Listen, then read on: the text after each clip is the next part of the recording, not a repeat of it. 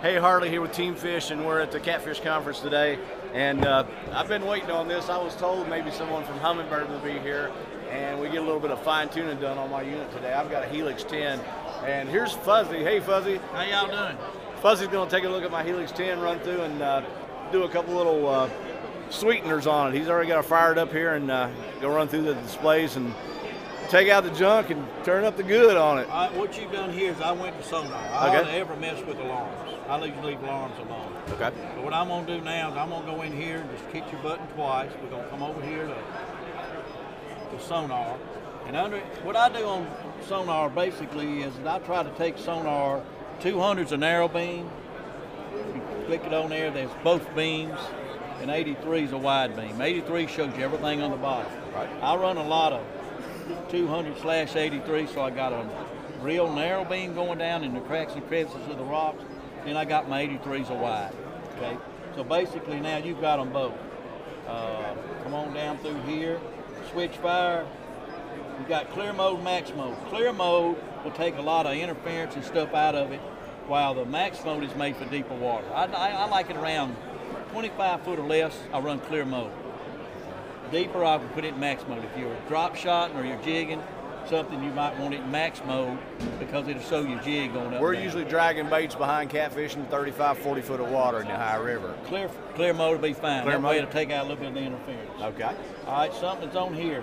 We got this something called real-time sonar, which is a flasher bar going up. That's the old days of the flasher. Uh huh.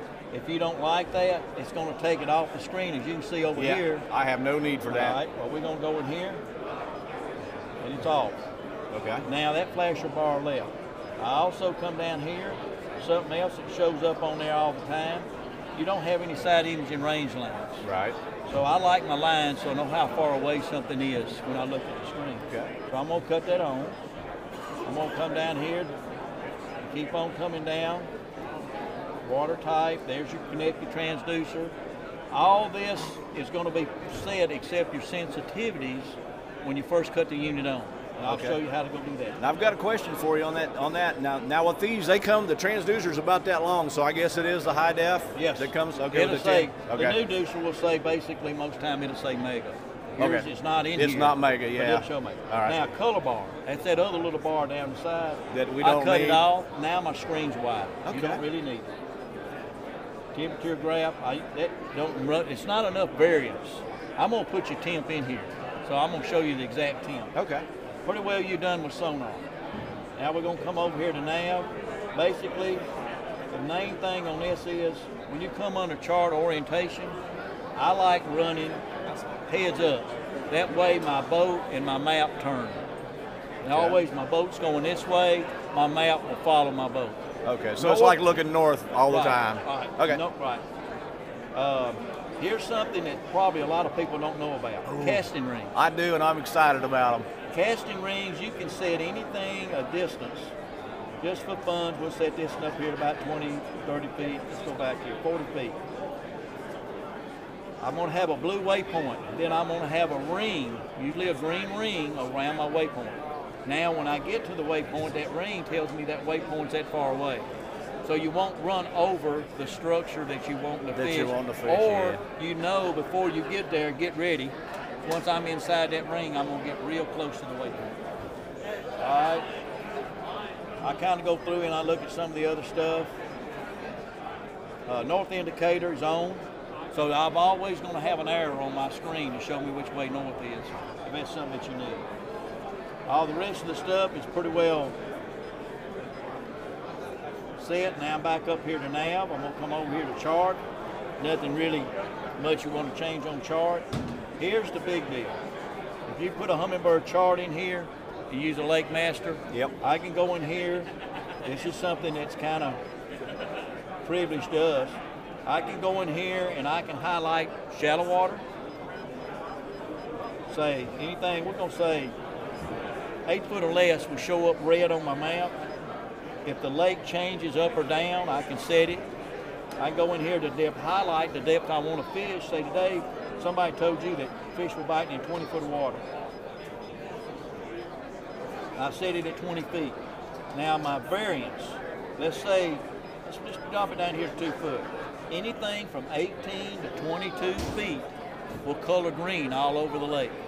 That's Anything- unreal, right? That's there. That's unreal. And anything that's 10 foot or 8 foot or less, it's going to show red. So you'll find high spots and you know the depth. Now, if the water changes, this offset, like I got a lake I fish, it drops 30 feet in the wintertime.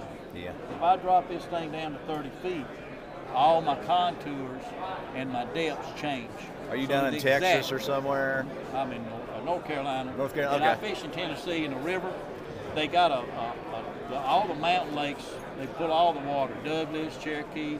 They put all the water down in the wintertime, then they fill it back up in the summer. Yeah. But on here, when you change it, all your depths change. Okay. In other words, if, instead of being next to the bank and it's dropped 30 feet and it says 30 feet deep with zero, this would say zero. Okay. That's the advantage of having your map. That's awesome. We go out here to set up. If you forget a lot of the stuff that I just told you, or out there after a while, you're saying, gosh, I don't even know what I've done.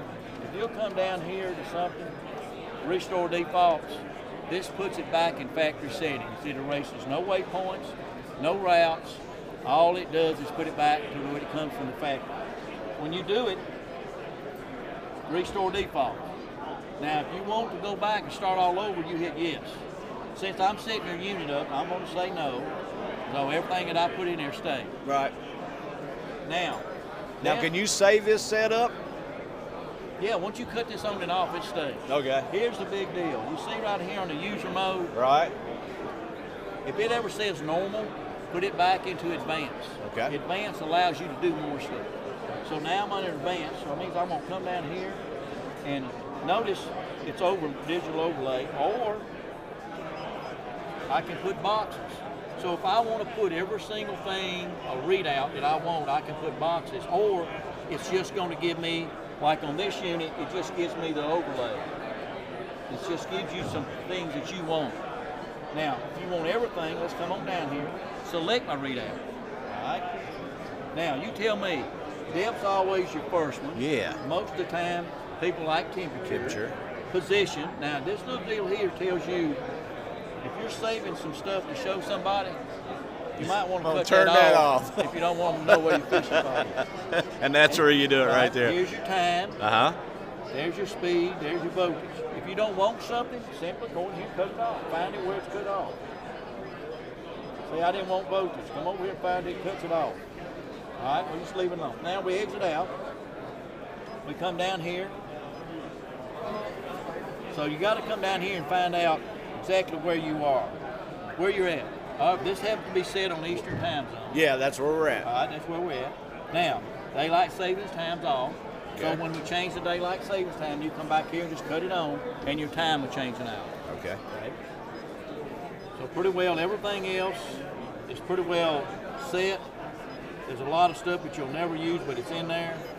You come to views. Something about views. If there's too many views, hide them.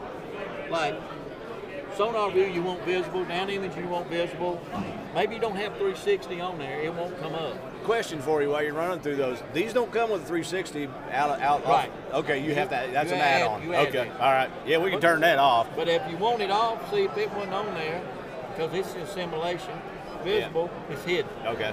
Now, there's some things that my son gets a hold of it. You got three preset buttons, Yep. okay? Those are screens you can go to like a your radio. Quickly want to go to that channel, you go here.